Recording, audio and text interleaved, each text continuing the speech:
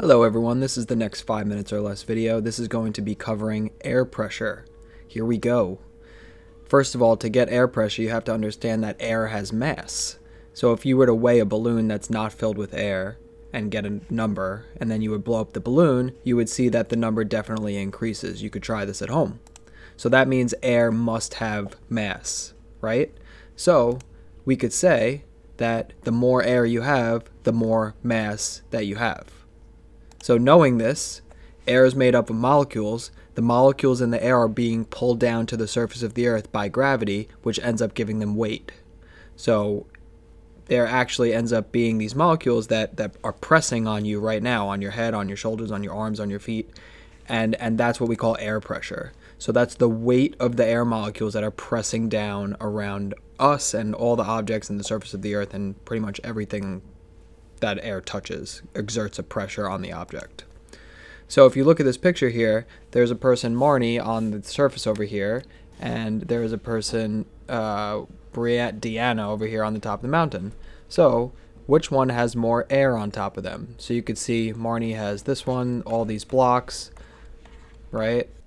And Deanna only has three areas of air. So we could say that Deanna has less air on top of her, and Marnie has more. So Deanna is experiencing less air pressure at the higher altitude, and Marnie is experiencing more air pressure down by sea level. So based on that, we could say higher altitudes have lower air pressure because there's less air above you.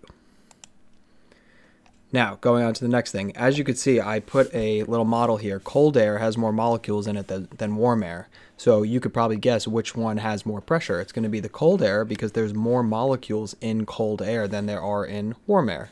So that means hot air over here must have less air pressure because the molecules are further apart. So now we could say as temperature goes up, as the, the air gets warmer, you're going to have less air pressure. Now, to measure air pressure, we use what we call a barometer, and this is going to be measuring air pressure in a unit of millibars. Generally, the higher the pressure goes on the barometer, the cooler the temperatures, the lower the humidity outside, and the better the weather. So we call the weather uh, fair. That would mean not cloudy, so clear skies, no rain.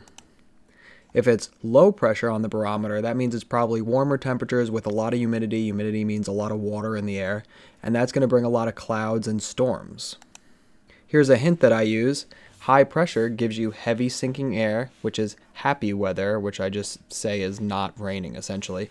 And high pressure systems rotate in the way that hands on a clock do. They go outwards and clockwise, so they spin like this. And a way you can remember that is use the word HOC, so it stands for high pressure goes outwards and clockwise. The L is going to be the opposite. Low pressure is light air which rises. It brings lousy weather like clouds and it goes inwards and counterclockwise in the way that it curves. So you can remember that by remembering lick, low, inwards, counterclockwise on this map with a bunch of isobars on it, we can actually tell where it's most windy. The isobars that you see measure air pressure. So where wherever they're close together, like here, here, here, those are going to be the windiest areas. Last but not least, a molecule of water weighs less than a molecule of air. So essentially, an area that has a lot of humidity is going to have lower pressure. So the more water you put in the air, the lower the pressure gets. Now, say you had a map like this where you had to draw some isobars in, so I could draw those. So here's 1008, here's the 1004s, here's the 1000, so we'll just connect them like that. Now, what type of pressure is this? So you start on the outside, it's 1000, 1004, 1008. So as you go to the middle, the pressure increases, so that means this is a high pressure center. So you put a big H in the middle. And over here, we could go 1012, 1016s look like this. 1020 goes like this.